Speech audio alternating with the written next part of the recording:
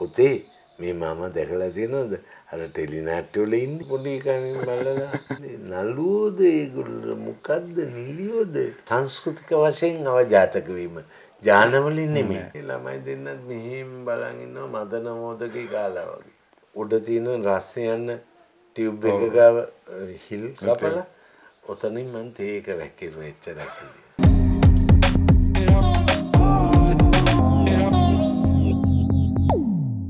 අපි කවුරු හරි කෙනෙක් ගැන හැඳින්වීමක් කරන්න යනකොට ඒ කෙනා ගැන හරි හමන් විස්තරයක් දන්නේ නැත්නම් අපේ ගැලවිල්ලට අපේ බේරිල්ලට අපි කියනවා අටුවා ටීකා ටිප්පණි මේ පුද්ගලයා ගැන ඕනේ නෑ කියලා.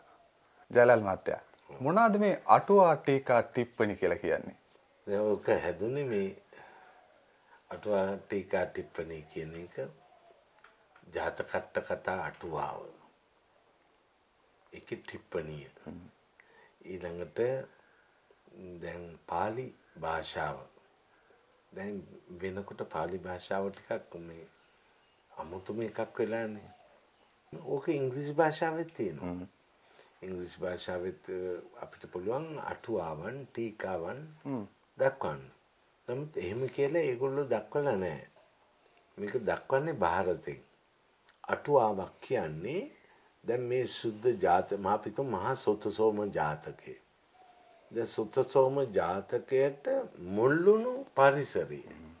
දැන් එකයි ඔබතුමා කිව්වේ මේ දැන් කලාකරුවාගේ අටුවා ටීකා ටිප්පණි ඕනේ නැහැ කියලා කියන්නේ මේ එයාගේ දැන් මෙතනට එන්න මුල්ලුණු කතා මෙයාගේ වටා පිටාව දැන් ටීකාවේ විස්තර වෙනවා ඒකේ ඇති ගැඹුරු වචනවල තව සරල කළ විස්තර.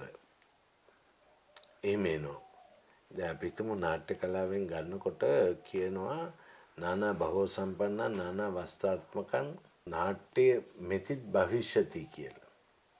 නානා භවෝ නානා භවෝ සම්පන්නං නානා වස්ත්‍රාත්මකං ලෝක වෘත්තානුකරණ. නාට්‍ය මෙතත් භවිෂ්‍යති මේක එකපාරටම කියවන්න කෙනෙක්ට මේක සිංහලෙන් ලියන්න පුළුවන්. සිංහලෙන් ලිව්වහම එයාට පාලිය නිකන් අන්ධ ගයිපු වගේ. එතකොට අපි මේක විස්තර කරන්න ඕන ටීකාවක් අපි දෙන්න ඕන. මේක අටුවාව කියන්න ඕන. මොකද්ද මේකෙන් කියන්නේ? නානා බහෝ සම්පන්නන් නොයෙක් භාවයන්ගෙන් සම්පූර්ණ වුණු. සම්පුඤ්ඤං කියන්නේ සම්පන්න. ඔක බෞද්ධ ගාථාවලත් එනවනේ. නේද? තිසරණේන ගමනන් සම්පූර්ණං. සම්පූර්ණ වෙන්න මේක එන්න තිසරණ ගමනේ යන්න ඕන. මෙන්න මේ වාගේ. එතකොට මේ අටුවා ටීකා ටිප්පණියට එනකොට එන්නේ මේ මේ මේක කියන්න මුල්ුණු හේතුව කොහෙද තියෙන්නේ? මෙන්න මේ වගේ විස්තර. ඔය ඔබ කිව්ව පරිදි අටුවා ටීකා ටිප්පණි ඕනේ නැහැ කියලා නිකන් කටවහරට කියනවා පෙළ කෙවුම් ඒ කියන විතරයි අටුවාව කියන්නේ මොකද්ද කියලා ඇහුවොත් හරියට හරි. බොහොඳ වෙලාවට මගෙන් අහපු එක ලොකු දෙයක්. මම මේ පරිසරයේ දන්න නිසා මට කියන්න පුළුවන්කම ලැබුණා. ඔන්න ඔකටයි අටුවා ටීකා ටිප්පණි කියන්නේ. වෙනම ග්‍රන්ථ තියෙනවා. දැන් මම ගාව තියෙනවා පාලි අටුවාව මොකේද? ත්‍රිපිටකේ එතකොට ඒක ටිප්පණිය තියෙනවා. අපි එච්චර ගැඹුරට යන්න ඕනේ අටුවාව ගත්තාම අපිට පොඩ්ඩක් පහදා ගන්න ලේසි පාලි භාෂාව ගැන යම්කිසි දැනුමක් තියෙන කෙනෙකුට ටිප්පණියත් ඕන වෙන්නේ මුකුත්ම නොකර නොතේරෙන කට්ටියට. ඒ කියන්නේ අපි කියන්නේ මේ බ්ලැක් අවුට් වෙලා බලන් ඉන්නවා කියලා එන්නේ වගේ කට්ටියට ඊටු ටිප්පණියක් දීලා දාන්න ඕන. එන්නේ හැබැයි මේ කාලේ හැටියට නම් දැන් මේ සමාජයේ සුසර වෙලා තියෙන විදිහට බැලුවහම අටුවා ටීකා ටිප්පණි ඕන පෙළකයට මොකද සමාන පොඩි උන්ට අපි හම්බුනාම පොඩි ළමයින්ගෙන් පෙළක් දෙමව්පියෝ අහනවා. අපි අඳුරගෙන පුතේ මේ මම දැකලා තියෙනවද? අර ටෙලි නාට්‍යවල ඉන්නේ. කියන්නේ ඒතර පොඩි කමින් බලලා නෑ කියනවා. ඒක හරිනේ මේ කාලේ ඉන්න විදියක් නෑනේ මම මොකද මේ තරම් ජරා වෙච්ච යුගයක් නෑනේ ටෙලි නාට්‍ය. නේද ඉතින් මේ ගා ටෙලි නාට්‍ය ඇවිල්ලා මම මම බල්ලවත් ඉන්නේ නෑ ඒ තරමටම ගිහිල්ලා ඉතින් අන්තිම වශයෙන් කොටස් 50ක එකකට ඒකක වෙලා එක සැරයක් කළා. ඒකත් ඒ කෘතිය හොඳකම නිසා. ඒ ඇරෙන්න අපිට යන්න වැඩක් නැහැ වෙලා ලියපු මිනිහා ඉතිහාසය දන්නේ නැහැ කතාවේ. රංගපාන්නේ අද රංගපාන එක දන්නේ ඒ ඉතිහාස මේ කතාවේ මුල මොකද්ද උනේ කියලා. එතකොට වෙන්නේ තමන්ගේ දෙබස විතරක් කියනවා විතරයි. එහෙම බිහි වෙයිද නළුව බිහි වෙයිද? නෑ. නමුත් මේ සමහර රූපවාහිනී උත්සවවල එහෙම මේ සම්මානෝත්සවවල ඒ පෙළක් වෙලාට වසරේ ජනප්‍රිය නළුවා නිලිය වෙනවා. ඒක වෙනම කතාවක් ඉතින් ඔන්න වගේ වෙන්නේ අටුවා ටීකා ටිප්පණි නොදැන ගියාම කියලා මට කියන්න පුළුවන්. අපේ කලාවෙත් කලා ශිල්පීන්ගෙත් අටුවා ටීකා ටිප්පණි තියෙනවද නැත්නම් ඒවා කතා කරලා වැඩක් නැද්ද? දෙකම තියෙනවා. දැපතිම ආචාර්ය ජයලත් මනෝරත්න. තුන් ඉරියව්වේ ක්‍රීඩකෙක් රඟපෑම් කලාවේ අපි හිතමු මේ රොඩ්නි වර්ණකුල. ඔය නිසංක දිද්දෙනී. මේ වගේ ශිල්පීන් ගණනාවක් අයිරාංගනී සේරසිංහ මැතිනිය දැන් ඒ වගේ මාලිනී ෆොන්සේකා. උනත් කෙට කිසිම ගැටලුවක් නැහැ මේ මේ වගේ මං කියන්නේ මේ නම් නොකියුවට සමා වෙන්න ඕන නම් පොලිමම කියන්න ගියොත් මට මෙතන වැඩසටහන ඉඩක් නැතුව යනවා. ජෝ අභිවික්‍රම ගාමිණී ෆොන්සේකා මේ අයගේ හරි ලොකු අටුවා ටීකා ටිප්පනිය තියෙනවා දිගහරින්. නමුත් වර්තමානයේ වෙනකොට බිහි වෙලා තියෙනවා කිසි ඉතිහාසයකුත් නැහැ ඔය එකපාරට දවසේ පැටියා වගේ ඇවිල්ලා වැඩ කරනවා. ඊට පස්සේ අර අටුවා ටීකා ටිප්පනි හොඳ අයට තව අපහසත් කරනවා නේද? ඒගොල්ලෝ කවුද නළුවෝද ඒගොල්ලෝ? මොකද්ද? නිලියෝද? ඒගොල්ලන්ට අපිත් එක්ක හැරෙන්න පුළුවන්ද කියලා අහන අයත් ඉන්නවා. ඉතින් මේක ඛේදවාචකයක් සමස්ත රූපණ ශාස්ත්‍රයේ. රංගපෑම ගැන කතා කරනකොට පොදුවේ තියෙන මතයක් තමයි ඒ දවස්වල ඉඳලම වේදිකාවෙන් ආවොත් එයාට හොඳ පරිණතභාවයක් තියෙනවා. එයා හොඳ දක්ෂයෙක්. හැබැයි එකපාරම උඩින් ඇවිල්ලා ටෙලිනාට්‍ය වලට හරි සිනමාවට හරි ආවොත් එතන එහෙම ලොකු ගැම්මක් නැහැ කියලා. ඇයි ඒ එහෙම කියන්නේ? ඒක ඒකේ සාධාරණ බවක් තියෙනවා. පොඩි අසාධාරණයකුත් තියෙනවා. අසාධාරණයක් වෙනවට වඩා සාධාරණ බව මම ඉස්සෙල්ලා කියන්නම්කෝ. දැන් අපි තුමු මේ වේදිකා නාට්‍ය කලාවට ආවම මම ඉන්නේ 1976. සයිමන් නවගතික මහත්තයාගේ ඊට පස්සේ ඊට ඉස්සෙල්ලම මම ගමේ කෝට්ටේ වෙසක් නාට්‍යවල රඟපාලා තියෙනවා. ගොඩක් අය කියන්නේ පොල් කොටන් නාට්‍ය කියලා. ඒ වෙනුත් ගන්න දෙයක් තියෙනවා. දැන් මේ මේ රඟපානකොට ඒ රූපන ශිල්පියාට කරුණු ගණනාවක අවබෝධය ලැබෙනවා. විශාල විවෘත ප්‍රේක්ෂාගාරයක අපි කොහොමද රඟපාන්න ඕන. ඊට පස්සේ හැමදාම මේ රඟපාන නාට්‍ය එකිනෙකට වෙනස්. අපි තුම ඊට පස්සේ මම එහෙම එනකොට ෂේක්ස්පියර්ගේ නාට්‍යවල රඟපාන්න ලැබුණ බඳුළු ඉතානගේ මහත්තයක වෙනිසි වෙලින්දා වගේ. වෙනිසි වෙලින්දා නාටකයේ කියන දෙබස් වල මට පැටලුමක් ආවා. ඇයි? මගේ දෙබස්සක් මතකයි පොඩි කැල්ලක් කියන්නම්.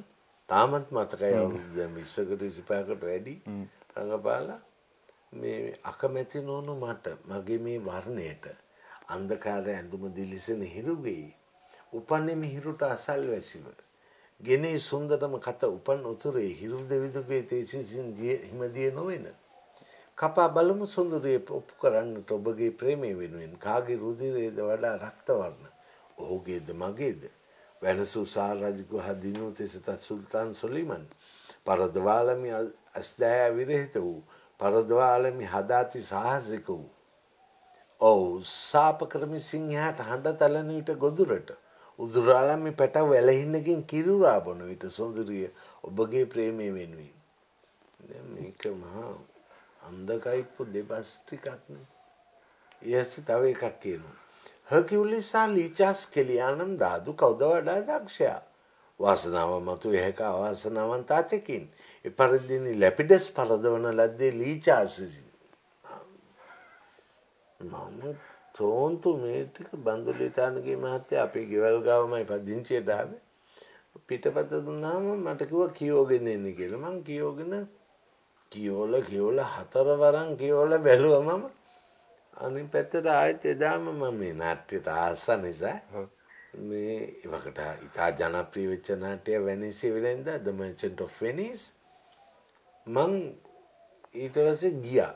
ගිහිල්ලා බන්දුල මහත්තයෝ මේක මාළු වැඩන්නේ දැන් මේ තේරුම් මොනවද? ඇයි?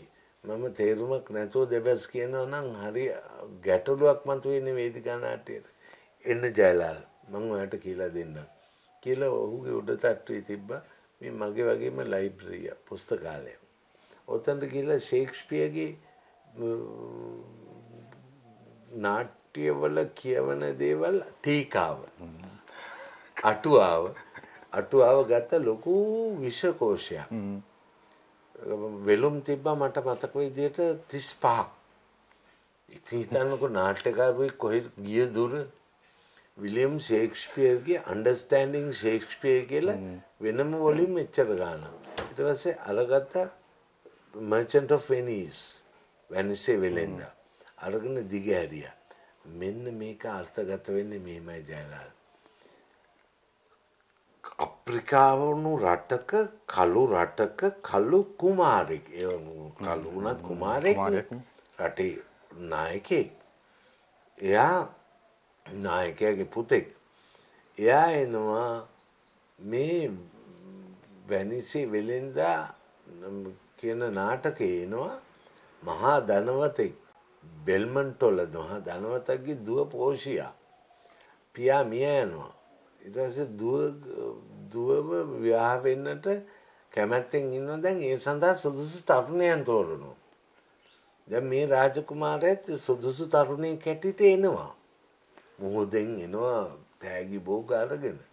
එයා ආපු ගමන් කියන්නේ කුමරිය හම්බුනාම පෝෂිය හම්බුනාම අකමැති නොවුණු මට මගේ මේ වර්ණයට අන්ධකාර ඇඳුම දිලිසෙන හිරුගෙයි. නිකන් හිතන්න බලන්න. දැන් අපි නම් කියන්නේ මෙන් මෙහෙ මෙගා ටෙලි නාට්‍යක ලිවනම් මේ දෙබස් ලියවෙන්නේ මෙහෙමයි. සොරි ඔයා මට කැමති නැත්තම් කැමති නෑ කියන්න කැමති නම් කැමති කියන්න. මොකද මගේ ස්කින් ටෝන් එකේ තරම් හරි නෑ බ්ලැක් සිංහලත් නෑ ඉංග්‍රීසිත් නෑ මල කෙලියක් වෙන්නේ. ඊට පස්සේ මම හරිට ඉරට ක්ලෝස් රටකන ඉන්නේ ඔන්න ඕම කියනවා. මේකට කියන්නේ අවජාතක සංස්කෘති. මේ කියන්නේ සංස්කෘතික වශයෙන් අවජාතක වීම. ජානවලින් නෙමෙයි. තාත් දෙමාපියන්ගේ වාසකමින් නෙමෙයි අවජාතක වෙලා තියෙන්නේ. මේ රටේ තියෙන අවජාතක සංස්කෘතිය. මෙන්න මේ සංස්කෘතිය කෑලි. මා බලාපොරොත්තු වෙමු දැන්වත් හොඳ වෙයි කියලා. ප්‍රාර්ථනාවක් කරනවා මම. ඇත්තටම යන්න හිතෙන රටක හිටියේ. නේද? නැහෙන්න හිතෙන රටක හිටියේ. මේ විනාශය බල බල.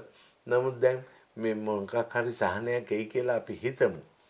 අපිට කාක වැඩක් නැහැ හොඳක් කරනවා නම් කවුරු හරි කමන්නේ. එච්චරයි. දැන් මගේ ප්‍රස්තුතයට එන්නම් දීර්ඝ වෙන නිසා. නැත ඔබට ගැටලුවක් ඒක. මේ අර දෙබස්වල තේරුම බලන්න. ඒක ඒක ගන්න ජයලාල් ඇඟට. ඒක අරගෙන දෙබස කියන්න. එතකොට මෙයා කියන්නේ උපන්නෙම හිරුට අසල්වැසිව බලන්නකෝ භාෂාවේ ප්‍රයෝගය. ඊට පස්සේ අහනවා හර්කියුලිස් සහ ලීචාස් කෙලියානන් ධාතු කවුද වඩා දක්ෂයා? වාසනාව මත ඒක අවාසනාවන්ත අතකින් මේක පැරණි ජන කතාවක් හර්කියුලිස් කතා අතර. එතකොට ෂේක්ස්පියර්ගේ එක එක දෙබස් කාණ්ඩයක් ඇතුලේ පොත් ගණනාවක් තියෙනවා. ඒ කතාව වෙන්නේ හර්කියුලිස් කියන්නේ මහා වික්‍රම පාපු යෝධෙක්නේ එයාගේ මෙහෙකාරකමට හිටිය ලීචාස් කියලා හීනි කෙට්ටු මිනිහෙක්. ගෙදර වැඩකාරයා. එයා ඇහුවලු දවසක් සර් මේ දාදු කෙලිමුද අපි කියලා. ආ වරින් විවේක වෙලා හර්කියුලිස් ලොකුයි මෙහෙම ඉඳගත්තා. ලීචා චූටි අනිත් පැත්තේ ඉඳගෙන දැන් දාදු අදිනවා. මොකද උනේ? හර්කියුලිස් පරාද වුණා. ඒ කියන්නේ ඇත්තටම ජයග්‍රහණය තියන්නේ ඇගේ නෙමේ මොලේ කියන එකද මේක දෙන්න ශේක්ෂපිය හරි ලස්සනයි. ලීචාස් දින්න. මේ සිද්ධිය අරගන්නවා ශේක්ෂපිය මොකටද? අපි අවාසනාවන්ත මිනිසු කියන අපි හම කලුයි. ඒ වුණාට වාසනාවන්තකම මතු ඒක අවාසනාවන්ත මිනිහෙක්ගේ අතින්. එපරිදි මා ඔබට සුදුසු විය හැක. මේ මිනිහගේ මේ අර සුදු කෙල්ලෙක්නේ පෝෂිය නේද? දැන් බලන්න මේ අවබෝධය ලැබුණේ මට කොහෙන්ද? නාට්‍ය කලාවේ. බන්දුලි චානගේ මහත්තයාටත් පින් අයිති වෙනවා මේක මට කියලා දුන්නට. අද එතුමා අපේ අතර නෑ. එතකොට මේ අවබෝධය ලැබුණේ නාට්‍ය කලාවෙන් ඔව්. හොඳයි. ඔබ හිතන්න කැමරාවක් ගෙනල්ලා ටක් ගාලා අටවනවා බොනට් එක උඩ ඉඳන් ස්ක්‍රිප්ට් එක ලියනවා. නේද රංගපානිකා දන්නේ නැහැ ඉතිහාසය මොකද්ද වුනේ කියලා. අධ්‍යක්ෂණය කරන මිනිහා දන්නේ නැහැ. මොකද හේතුව දැන් අධ්‍යක්ෂණය කරන්නේ මුලේකා නෙමෙයි. මොකද එයා රන් වෙලා ගිහිල්ලා. ඊට පස්සේ කලින් හිටපු නළුවා වෙන නළුයි කොහරි මිනිහා හදිසියෙ මැරිලා. ඒ කියන්නේ එයා සල්ලි වලට ප්‍රශ්නයක් ඇද්ද ගමන් එයා මලා කියලා දානවා එතකොට ඒක ඉවරයි මේ බලන්නකො මේ තරම් කුණුහරුප ටෙලි නාට්‍ය කලාවකට වැටුණනේ ලංකාව නේද මෙන්න මේ විදිහ නිසා අවබෝධය ලබා ගන්න අඩුයි. ඊට වේගෙන් අපිට අමාරුයි මේ කෘතියක් තුළ අන්තර්ගත වෙන්නේ මොනවද කියලා අල්ලගන්න. මෙන්න මෙහෙම අල්ලගැනීමේ ශක්තිය. ඊට වේගෙන් දැහැ ගන්න පුළුවන්කම. තේරුම අර්ථය අන්වය තේරුම් ගන්න පුළුවන් විදිහේ ශක්තියක් ලැබෙනවා වේදිකා නාට්‍ය කලාවට ආවා. එනිසා පිටපත කියවනකොටම ඔළුවේ බඩු ඇටිලා. සංස්කෘතියේ ජාතක බව සහ අවජාතක බව කතා කරපු නිසාම ටෙලිවිෂනය ගැනත් අපිට ජයලාල් මහත්තයකින් අහන්න කතා ගොඩක් තියෙනවා. ටෙලිවිෂනය ලංකාවට හඳුන්වා දීමේ මොන හරි අරමුණක් තිබ්බනම් අද වෙනකොට ඒ අරමුණට මොනවාද වෙලා තියෙන්නේ කියලා. 1982 තමයි ශ්‍රී ලංකාවට රූපවාහිනිය ආවේ. 82ට එන්නේ ඉස්සෙල්ලා අවුරුදු 10කට විතර ඉස්සෙල්ලා රූපවාහිනිය හඳුන්වා දුන්නා ලංකාවට. ඒක ජපානයේ තියෙන එතන ඒ අවස්ථාවේ. ඒගොල්ලෝ හඳුන්වා දෙන්නේ මොකටද? අධ්‍යාපන මෙවලමක් හැටියට.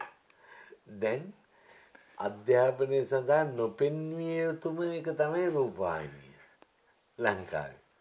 ඔබ මේ නිවසේ දැක්කනේ ටෙලිවිෂන් එකක් හොයන්නමයි ගෙදර. අපේ ගෙදර රූපවාහිනියක් නැහැ. පරණ පාවිච්චි කළා රූපවාහිනියක් එක මේ මගේ දරුවෝ දෙන මේ චූටි කාලේ තිබ්බා. මං චූටි කාලෙම තීරණය කළා දැන් අවුරුදු 10කට වැඩි රූපවාහිනිය අයින් කළා.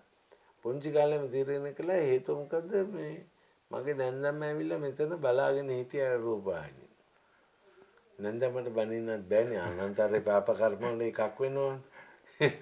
ඒතකොට එයාට එයාට වචනයක් හරි හිතට දෙන්න කිව්වොත් එහෙම එයා හිතන්නේ බෑන අපි මේ ගෙදරට එනවට කැමති නෑ කියලා. මෙන්න මෙහෙම මහ කුණු වෙච්ච සංස්කෘතික ලක්ෂණ තියෙන රටක් නේ ලංකාව.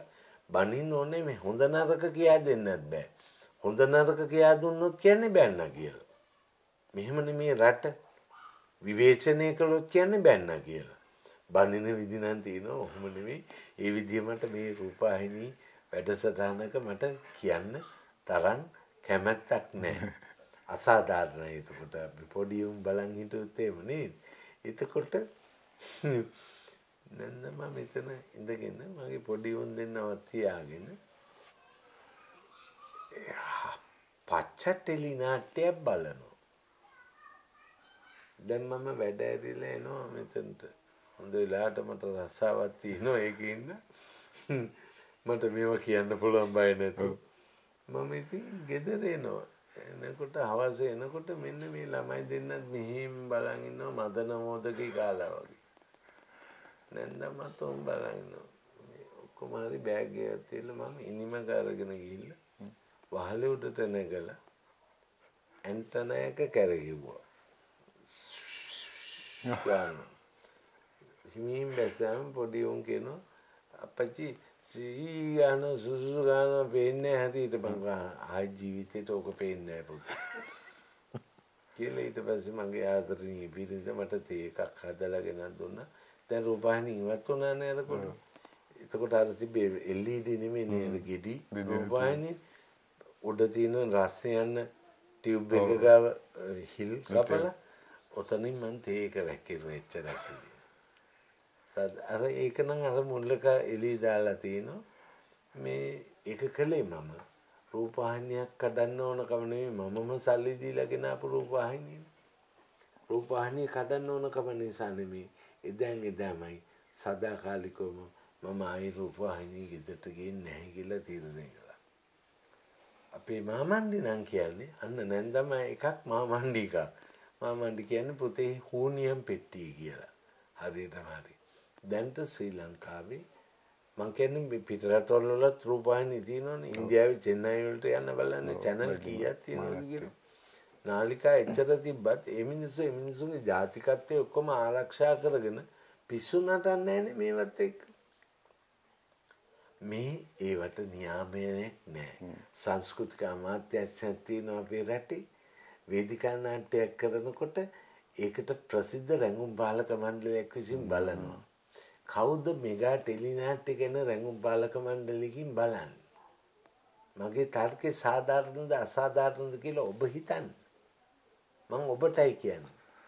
ඔබ නිවසේ බලන ටෙලිනාට්‍ය ගණනාවකින් කීයක් ගුණාත්මකද කීයකින් ඔබේ පවුල විනාශ වෙනවද කියලා හිතන්න. දැන්ට ශ්‍රී ලංකාවේ තියෙන දික්කසා දනඩු ගණනාවකට රූපවාහිනිය හේතු වෙනවා. මාලා නාටක හේතු වෙනවා. කොටස් 10 2000 ගංජා ගැහුවා වගේ මිනිස්සු බලන් ඉන්නවා. නේද? ගෙදර වැඩක් කරෙන්නේ නැහැ. උයන පියන එකක් නතර වෙලා. ඊට පස්සේ වැඩේ තියෙන්නේ ඒකට හරියන්න මහා රණ්ඩුවක් යනවා ගෙවල් වල. මොකද්ද රණ්ඩුව? පිරිමින්ට මේක දැනෙනවා කියමු. මේ රටේ ලෝකෙ ඇවිදලා වැඩ කරලා එන අයට මේක දැනෙනවා.